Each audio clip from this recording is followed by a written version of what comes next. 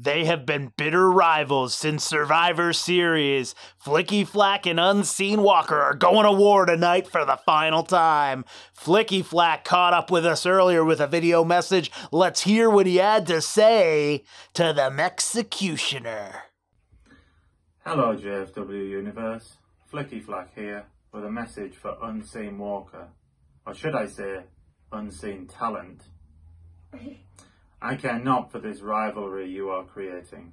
My only rivalry is with whoever holds the heavyweight belt. As you can see from this chart, my technical acumen to entertainment value is off the scale. Isn't that right, Tom? But if I have to go through you to reach my manifest destiny, then so be it. I will break you in half. Raw.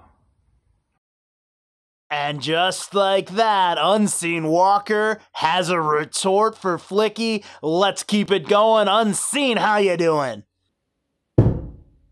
Flicky, flicky, flicky.